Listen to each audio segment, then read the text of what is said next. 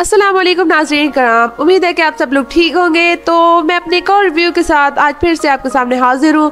और ये रिव्यू और किसी के बारे में नहीं, बल्कि और हाँ गाजी के मतलब है। जैसे कि आप लोग जानते हैं कि अब अरहान गाजी ने बाकायदा तौर पर मुख्तलिफ़ जो उनको दिए जा रहे हैं काम, उनको पूरे करने के लिए वो बाकायदा हुनरमंदी से उनमें मुलविस होना शुरू हो चुके हैं। वो शुरू से भी हुनरमंदी से करते, अगर उनके दिल के मामला ना आ जाते, अगर उनकी दिल जो था वो कशमकश में ना आता तो यकीन और हाँ शुरू से ही काफ़ी बेहतरीन जंगजू दिखाए जा रहे हैं और वो थे भी यकीन बहुत ही बेहतरीन जंगजू थे। और ये भी कहा जाता है कि औरान गाजी अपने दादा अरतुरु गाजी पर गए थे। और ये बात तारीखी तौर पर साबित है कि उनके बहुत से इकदार, उनके बहुत से मामला और सोच विचार अपने जो दादा थे, उनसे काफ़ी ज़्यादा मिलते थे। अब अगर हम देखें तो और हाँ गाजी ने जिस तरह अब जो एपिसोड अभी कुछ ही दिनों पहले जब पिछली जुमरात को जब रिलीज़ हुई थी तो उसमें और हाँ गाजी ने जिस तरह जंग की थी, यहाँ तक कि अपने बाबा को भी बचाया था, उसने तमाम मदाहों को यकीन बहुत ज़्यादा खुश कर दिया था अमल हाथून के फैंस भी बहुत ज़्यादा खुश थे, और ये खुशी की बात यह है कि बाला हाथून के फैंस भी इसको देख कर काफ़ी खुश हैं, जो कि बहुत ही हैरानी की बात है। हालाँकि मुझे लगा था कि हो सकता है कहीं बाला हाथून के फैंस फिर से अब अलाउद्दीन और अरहान के साथ की आपस में जंग न शुरू कर दे, लेकिन शुक्र है उन्होंने ऐसा कुछ भी नहीं किया। और अल्लाह का शुक्र ही है कि ऐसा कुछ नहीं हुआ। उम्मीद करते हैं होलोफेरा और गौचा खातून के मामले में भी ऐसा कुछ नहीं होगा।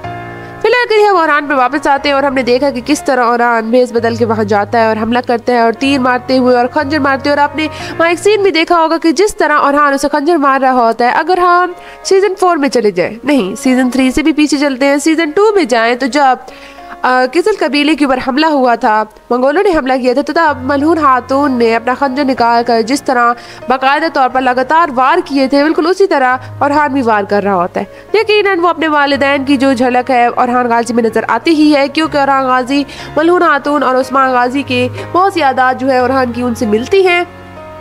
और इसी वजह से अब हम देख रहे हैं कि औरहान नाजी किस तरह जोश और जज्बे के साथ जंगों में हिस्सा ले रहे हैं और शरीक हो रहे हैं। और अब हमने फिर से सीन में देखा था कि औरहान गाजी फिर से किसी जंग में जा रहे होते हैं और ये जो नए आने वाला मंगोल है, हम देख रहे हैं कि बार बार उस्मान गाजी की बजाय औरहान गाजी और इसका आमना सामना हो रहा है और औरहान ही इसके बिल्कुल मद मुकाबले आ रहे हैं। जब, कब, उनके दरमियान कबीले का जो शहर था, उसमें जब धमाका हुआ था, तब भी औरहान ही बिल्कुल सामने आया था औरहान उस पर हमला भी करना चाहता था, लेकिन वो तुम दबा के भाग गया था। और अब हम देख रहे हैं कि यकीनन हो सकता है आने वाले वक्तों में औरंग गाजी अपनी तलवार की जोहर दिखाते हुए उसका सर उधड़ से अलग कर दे। अगर ये सीन दिखाया गया तो यकीन ये बहुत ही कमाल का सीन होगा और ये वो पहला सीन होगा जिसमें औरंग गाजी किसी मखसूस और ख़ास कमांडर का सर उड़ाएँगे और इस और अगर हम देखा जाए तो फातमा खातून ने भी जंगों में हिस्सा लेना शुरू कर दिया और उसके सीन को देख कर यकीन बहुत, सभी लोग बहुत खुश थे। शुक्र है किसी ने अजीब व गरीब किस्म के कमेंट्स नहीं दिए। और अगर हम देखें तो उसका जो पहला सीन था बिल्कुल वैसे ही रहा, जैसे कि मलहून खातून का सीन था। जिस तरह मलहून खातून ने पहली बार अपनी तीरंदाजी की जोहर दिखाते हुए एंट्री ली थी, जंग के मैदानों में बिल्कुल उसी तरह उनकी बेटी ने भी जंग में एंट्री ली है। क्योंकि अगर हम देखें तो फातमा खातून की जो एटीट्यूड वगैरह है, वो बिल्कुल मलहून खातून पे जाता है, जिस तरह वो एटीट्यूड दिखाती है, गुस्सा दिखाती है, वो बिल्कुल मनहून खातून से ही मिलता है।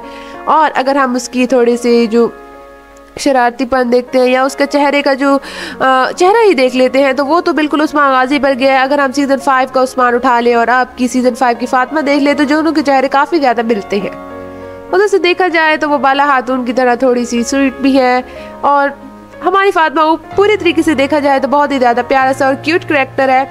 और होगा क्यों नहीं? यकीन फातमा खातून और हाँ गाजी की बहन थी और बहुत ही मामलात में उन्होंने दोनों तरीके से अपनी दोनों वाला, वालदाओं से, चाहे वो फिर मलहून हो या बाला हो दोनों से ही काफ़ी कुछ सीखा था, मगर यकीन जो इंसान अपनी सगी माँ से सीखता है, वो दूसरे से नहीं सीख सकता, और मैं ये किसी नफरत के पॉइंट ऑफ़ व्यू से नहीं कह रही। मैं इन रियलिटी कह रही हूँ कि अगर हम फातमा को गौर विचार से देखें तो उसकी बहुत सी चीज़ें मलहून से मिलती हैं, ज़्यादा मिलती हैं जितनी बाला से मिलती हैं। और ये मामला हम अलाउद्दीन में भी देख सकते हैं कि बहुत सी ऐसी चीज़ें और मामला हैं जिनको अलाउद्दीन जिस तरह पढ़कते हैं, बिल्कुल वैसे ही पढ़कते हैं जैसे सीज़न वन की बाला उनको हैंडल करती थी। बिल्कुल उसी तरह सीज़न फाइव का अलाउद्दीन अब उसे हैंडल कर रहा है। और अब हम देखें तो यकीन हमारे जो और फात हैं यानी कि अरहान और फातमा वो जंग के मैदान में उतर चुके हैं। और यकीन अब हम उम्मीद करते हैं कि जिस तरह हमने अरहान और अलाउद्दीन की फाइटिंग सीन्स देखे थे उस्मान के साथ हम अब फातमा के भी फाइटिंग सीन्स देखें और ये फाइटिंग सीन उस्मान के साथ दिखाए जाएँ तो भी मज़ा आएगा बाले के साथ दिखाए जाएँ और मलहून के साथ दिखाए जाएँ तो, तो भी तो भी बहुत ही ज़्यादा यकीन मज़े का ये सीन होगा। तो अब तक के लिए बस इतना ही। मैं बस यही कहना चाहती थी कि आप बहुत जल्द और हान गाजी और फातमा खातून जंग में जाकर अपने जौहर दिखाएँगी और यकीन हम सबको हैरान ही कर देंगी और यकीन हम सब लोग इन सीन्स का बेसब्री से इंतज़ार भी कर रहे हैं और सबर ही करना चाहिए क्योंकि सबर का फल मीठा होता है। तब तक के लिए बस इतना ही। उम्मीद है कि आपको ये वीडियो पसंद आई। इस वीडियो को लाइक भी कर दीजिएगा, इस वीडियो को शेयर भी कर दीजिएगा और मेरे चैनल को सब्सक्राइब कर दीजिएगा और बेल आइकन के बटन को प्रेस करना मत भूलिएगा। अल्लाह हाफिज़ और अपना ध्यान रखिएगा।